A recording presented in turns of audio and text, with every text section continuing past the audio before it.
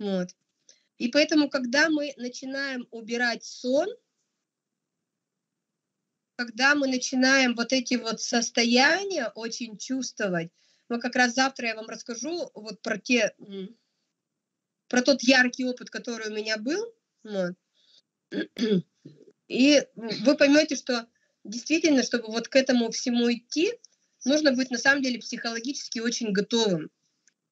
Не потому что это страшно, а потому что на тебя вот это вот э, какая-то сказка обрушивается, а ты не знаешь, что с ней делать. То есть сначала это прикольно.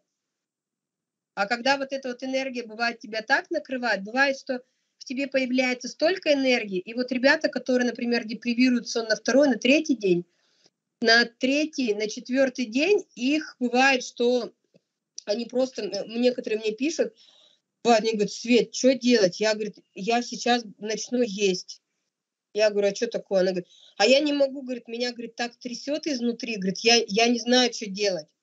Говорит, у меня, говорит, тахикардия, у меня, говорит, дыхание, говорит, такое, говорит, учащенное. Я, говорит, этого воздуха, говорит, я такое ощущение, что я говорит, литрами вдыхаю в себя, что, говорит, мне настолько легко дышать, что от этого тяжело. То есть я не, у меня легкие не рассчитаны на такое количество воздуха. И мне, говорит, прям тремор внутри. Я говорю, иди побегай, иди то-то сделай. То есть нужно какую-то физику, чтобы куда-то спустить пар. Ну. Но не все с этим справляются, начинают есть, есть, чтобы поспать. Поэтому мы вот настой, поэтому я и говорю всегда, ребят, постепенно.